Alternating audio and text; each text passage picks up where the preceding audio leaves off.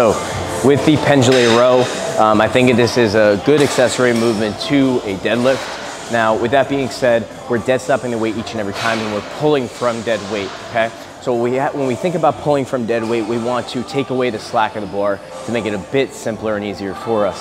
So when I say take away the slack out of the bar, if you listen to the click, in a barbell, when it's on the ground, that's the slack. So the way we take away that slack is creating tension through our upper back so we don't leak out energy.